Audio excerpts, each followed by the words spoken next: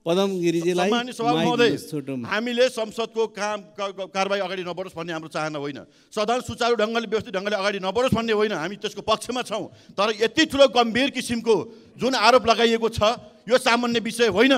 आज संसारभरिका हिन्दूहरूको आराध्यदेव भगवान भगवान पशुपतिनाथको मन्दिरको गजुरमा पित्तल छ भनेर सदनमा भनिन्छ। त्यो पनि सत्ता पक्षको सांसदबाट भनिन्छ। यो सामान्य विषय हो सभा महोदय। यसको छानबिन हुनुपर्छ। यस सन्दर्भमा सरकारको आवास धारणा के हो? स्पष्ट रूपले नआएसम्म कुनै पनि हालतमा सदन अगाडि बढ्न सक्दैन सभा महोदय। हामी यसको विरुद्धमा रहन्छौँ। यसबाट पनि सभा महोदय अगाडि बढ्न खोज्नुभयो भने हामी ओइल घेराउसम्म जानुपर्ने हुनसक्छ। मान्य सदस्यहरू जानकारी भएको छ सरकारले आफ्नो तयारी गर्छ कार्यक्रमलाई नरोकिकन यसलाई चलाउँदै जान सकिन्छ र जानुपर्छ म मान्यज्यूहरूलाई आसन ग्रहण गर्नको लागि अनुरोध गर्दछु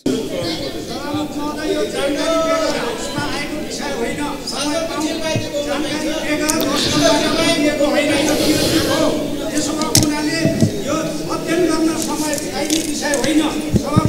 रोस्टमबाट बोलिएको विषय तथ्यहीन हो झुट हो नियोजित हो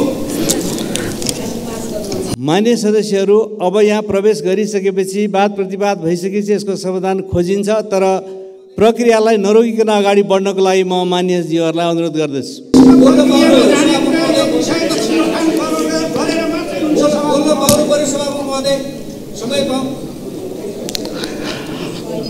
हामी समय लिएर बोल्ने व्यवस्था गर्छौँ मान्य सदस्यहरू आसन ग्रहण गरौँ। विषयमा प्रवेश गरौँ। विषय यहाँको आइसकेको छ त्यसमा ध्यान आकर्षण भएको छ। त्यसलाई अब कसरी जाने भन्ने छलफलहरू गर्दै जाउँ मान्य सदस्यहरू।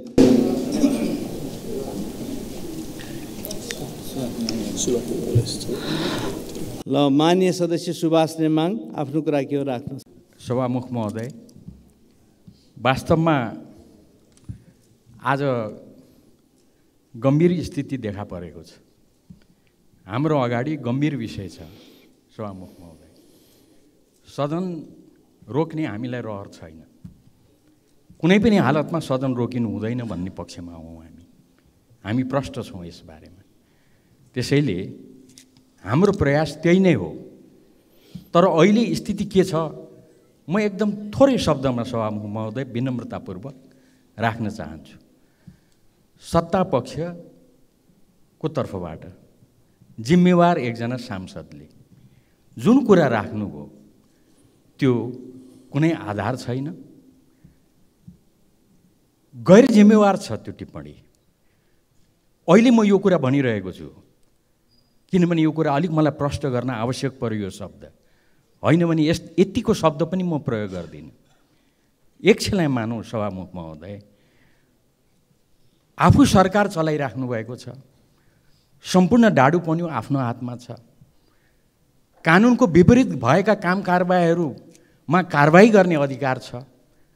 सरकार जसलाई सबै कुरा थाहा छ थाहा पाउने ठाउँमा हुनुहुन्छ उहाँहरू।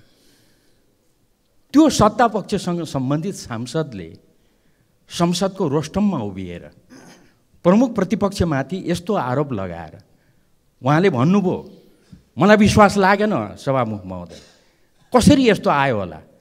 मैले घरिघरि खोलेर सुने र अहिले भर्खर पनि सुने तिन पटक सुने सभामुख महोदय म शब्द दोहोऱ्याउँछु उहाँले भन्नुभयो सुनको जलारीको नाममा पशुपतिनाथ पशुपतिनाथमा सुनको जलारीको नाममा पितलको जलारी चढाएर भ्रष्टाचार गर्ने काम गरेको छ।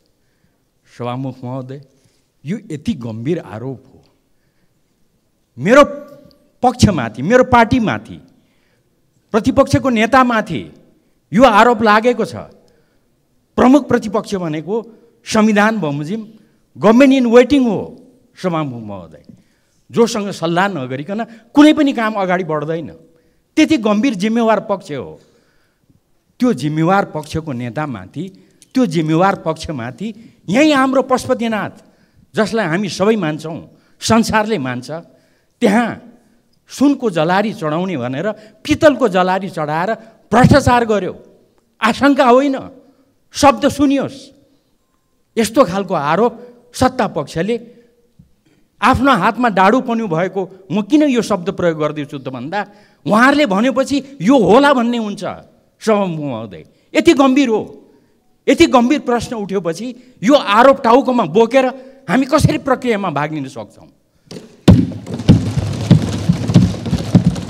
यो आरोप टाउकोमा बोकेर अरू मान्य सदस्यहरूले मैले भनिसकेँ सभामुख महोदय प्रतिपक्ष यहाँको नेता गभर्मेन्ट इन वेटिङ प्रमुख प्रतिपक्ष भनेर उहाँहरूले मान्नुहुन्छ। प्रतिपक्षमा बसेका साथीहरूले हाम्रो प्रतिपक्षको नेता भनेर मान्नुहुन्छ। उहाँहरूलाई आशंका हुँदैन। म कसरी यो आरोप बोकेर हिँडौँ? यो देशले कसरी यो आरोप बोकेर हिँड्न सक्छ? यति गैर जिम्मेवार काम गर्न पाइन्छ। सभामुख महोदय यसलाई राफसाफ नगरी हुँदैन। त्यस कारणले हामी चाहन्छौँ दुधको दुध पानीको पानी होस् सुनको जलारी होइन भने प्रमाणित गरियोस् कारवाही गरियोस् सुनको जलारी नै चढाएको हो देखिन्छ भनेदेखि सभामुख महोदय यति यस्तो गलत कुरा बोल्न पाइन्छ कि पाइँदैन। यस्तो सदस्य गैर जिम्मेवार कुरा भन्न पाइन्छ कि पाइँदैन महोदय यो सधैँको लागि रापसाप गर्नुपर्छ कि पर्दैन? यहाँ हामीले गरेका कुराहरू बोलेका कुराहरू संसारभरि सुनिन्छन्। सभामुख महोदय त्यसैले यो कुरालाई टुङ्गोमा नपुर्याइकन हामी उठ्यौँ भने हामीमाथि गम्भीर आरोप लाग्छ सभामुख महोदय। त्यसैले यसलाई टुङ्गोमा पुर्याउँ दुधको दुध पानीको पानी गरौँ अनि सम्पूर्ण कुरा सफा भएर मात्रै हाउसमा बसौँ। हाम्रो यही आग्रह छ सभामुख मान्य सदस्य उहाँले उठाएका कुराहरूमाथि प्रतिवाद यहाँले राख्न सक्नु भएको छ। र यसको बारेमा आरोप हो कि सच्चाइ हो कि छानबिन गर्ने टुङ्गो लगाउने यसका प्रक्रियाहरू हुन्छन्। म मान्य सदस्यहरूलाई अनुरोध गर्छु संसदीय प्रक्रियालाई पनि अगाडि बढाउँ र यो कुराहरूलाई पनि साथसाथै अगाडि बढाउँ। म यहाँहरूलाई आसन ग्रहण गरेर यो बैठकलाई अगाडि लाने हाम्रा निर्धारित एजेन्डालाई सम्पन्न गर्ने कुराहरूमा पनि साथसाथै लैजाउँ म अनुरोध गर्न चाहन्छु मान्यज्यू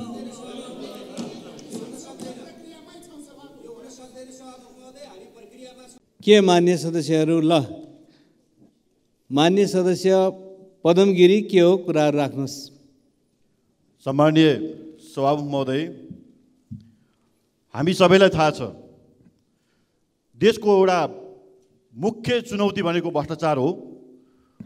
जुनसुकै रूप र रङमा भएका हुन् जुनसुकै क्षेत्रमा भएका हुन् सबै खालका भ्रष्टाचारीहरूको मनोबल गिराउनु पर्ने बेला आएको छ। देशलाई भ्रष्टाचार मुक्त बनाएर अगाडि बढ्न नसक्ने हो भने हाम्रो समृद्धिको सपना पुरा हुनेवाला छैन। त्यो हामी सबैले बुझेका छौँ सभामुख महोदय। त्यसका निम्ति नेकपा एमाले भ्रष्टाचारका विरुद्धमा देशव्यापी अभियान छेड्छ आम जनतालाई जाग जागरुक गराउँछ सजग गराउँछ र यो सदनमा पनि भ्रष्टाचारका विरुद्धमा यो अधिवेशनभर निरन्तर छलफल गर्नुपर्छ र भ्रष्टाचारीहरूलाई यो मुलुकबाट सदाका निम्ति मेरो भविष्य छैन भन्ने ठाउँमा पुर्याउनु पर्नेछ त्यो दायित्व त्यो जिम्मेवारी हाम्रो काँधमा छ सभामुख महोदय। हामी चाहिरहेका छौँ विगतका भ्रष्टाचारका अनेक फाइलहरू खोजौँ एक एक गरेर भ्रष्टाचारीहरूलाई कारवाही गरौँ जनतामा नयाँ उत्साह भर्ने काम गरौँ। त्यो हाम्रो जिम्मेवारी हो त्यो जिम्मेवारीबाट हामी बाहिर पन्सिन मिल्दैन भाग्न मिल्दैन सभामुख महोदय यस ढङ्गले आज हामी लाग्नुपर्ने अवस्था छ। तर पछिल्लो समय हामी देख्दैछौँ। सदनभित्र भ्रष्टाचारका विषयहरू मन लाग्दो गरी खास गरी संसारमा प्रतिपक्षले सत्ता पक्षलाई विभिन्न विषयमा प्रश्नहरू औँलाउने गर्छ प्रश्न सोध्ने गर्छ घचघच्याउने गर्छ। यहाँ त दुर्भाग्य के छ भने सभामुख महोदय बिना आधार बिना प्रमाण सत्ता पक्षका माननीयज्यूहरूले प्रमुख प्रतिपक्ष दललाई इङ्गित गर्दै दलको नेतालाई इङ्गित गर्दै भ्रष्टाचार गरेको कुरा यही सदनको रोस्टङबाट बताइन्छ। यतिसम्म भएको छ सभामुख महोदय। अस्ति मात्र जेठको दस गते यही रोस्टङबाट लेखनाथ दाहाल भन्ने सत्ता पक्षकै माननीयज्यू हुनुहुन्छ। उहाँले भन्नुभयो हिजो नेकपा एमालेको नेतृत्वको सरकार हुँदा केपी शर्मा ओलीज्यूले पशुपतिनाथको गजुरमा जलहरी लगाउने भनेर ज जलहारी लगाउने का निम्ति सुन लगाउने भन्ने नाममा पित्तल लगाउने काम भएको छ र भ्रष्टाचार भएको छ भन्ने जस्तो गम्भीर आरोप यही सदनमा लगाउनु भएको छ। हामी भन्न चाहन्छौँ यो आरोप कसरी आएको छ? के तथ्यमा उभिएर आएको छ? सत्ता पक्षले यसरी मन पर्ने ढङ्गले अनाधार कुनै प्रमाण व्यवहार कुनै तथ्य बेगर आरोप लगाउने कुरा कदापि हामीलाई स्वीकार हुन सक्दैन सभामुख महोदय। हामी यसलाई निन्दा गर्न चाहन्छौँ यसलाई हामीले भर्सना पनि गर्न चाहन्छौँ सभामुख महोदय। म भन्न चाहन्छु अब यदि यो पशुपतिनाथमा लगाएको जलारे त्यो सुन होइन पित्तल हो भनेदेखि म यो सरकारसँग माग गर्न चाहन्छु। त्यो आज लगाएको सुन कि पित्तल भन्ने कुरा यो सरकारले यो सदनलाई जवाफ दिनुपर्छ। यो सदनलाई यथार्थ कुरा के हो? सदन मार्फत आम नेपाली जनताले यसको विषयमा बुझ्न पाउनुपर्छ। त्यस कारणले गर्दा सरकारले यो विषयमा जवाफ दियोस्। यो विषय जवाफ नआउँदासम्म यो सदन एक इन्च पनि अगाडि बढ्न सक्ने अवस्था छैन सभामुख महोदय। म यो यहाँ राख्न चाहन्छु। र आज प्रतिपक्ष मार्फत माथि जुन प्रकार नियोजित ढङ्गले एकपछि अर्को गर्दै जसरी जान खोजिँदैछ हामी भन्न चाहन्छौँ। कुनै पनि भ्रष्टाचारका मुद्दाहरूमा कोही पनि दोषी उम्किन नपाओस्। निर्दोष कोही पनि नफसोस्। मुलुकमा सुशासनको ग्यारेन्टी गर्ने गरी राष्ट्रिय एउटा माहौल बन्न सक्नुपर्छ बनोस् भन्ने पक्षमा हामी छौँ र प्रति प्रमुख प्रतिपक्षी दलको हैसियतबाट हामी त्यसलाई साथ र सहयोग दिन तयार छौँ। त्यस कारणले म भन्न चाहन्छु सभा महोदय यस ढङ्गले तथ्यहीन र आधारहीन ढङ्गले हामीमाथि लगाइएको जुन आरोप छ यस विषयमा सरकारको धारणा के हो? सरकारले त्यो सुनो कि पितलो भन्ने कुरा यो सदनलाई स्पष्ट ढङ्गले जानकारी दिनुपर्छ हाम्रो माग यो रहन्छ र यसै तथ्यहीन ढङ्गले आरोप लगाउने मान्यलाई यस्ता तथ्यहीन ढङ्गले सदनमा प्रस्तुत हुने कुराहरूबाट माफी मगाउने काम गर्नुपर्छ सभा मार्फत। माफी माग्नुपर्छ भन्ने हामी चाहन्छौँ र सदनको यो रेकर्डबाट पनि हटाउनुपर्छ भन्ने कुरा हामी राख्न चाहन्छौँ। यदि यी कुरा हुँदैन भनेदेखि सदन अगाडि बढ्न सक्दैन भन्ने कुरा पनि म जानकारी गराउन चाहन्छु। मान्य सदस्यहरू आसन ग्रहण गरौँ। विषय राख्ने सन्दर्भमा यहाँले विषय राख्नु भएको छ। विषय राख्नलाई समय दिएको छ। अब बाँकी संसदीय प्रक्रिया अनुसार नै अगाडि बढौँ। त्यो बढ्ने सन्दर्भमा थप यसको अध्ययन गर्ने छलफल गर्ने जवाफ दिने प्रक्रियाहरू पनि हुँदै जान्छन्। हामी अब सरकारले पेस गरेको नीति र कार्यक्रमको अन्तिम छलफल गरेर टुङ्ग्याउने योजनाका साथ आज यो एजेन्डा राखिएको कुरा म मान्यज्यूहरूलाई अवगत गराउन चाहन्छु र यहाँ उठेका विषयमा मान्यहरूले आफ्नो कुराहरू राख्नु भएको छ। त्यसैले आफ्नो ठाउँमा आसन ग्रहण गरिसकेपछि सदनलाई अगाडि बढाउँ बढाउने सन्दर्भमा नै यसको खोजी हुने छलफल हुने निष्कर्षमा पुग्ने तमाम कामहरू हामी एउटा प्रक्रियागत ढङ्गबाट गर्नेछौँ। म मान्य सदस्यहरूलाई त्यही अनुरोध गर्न चाहन्छु।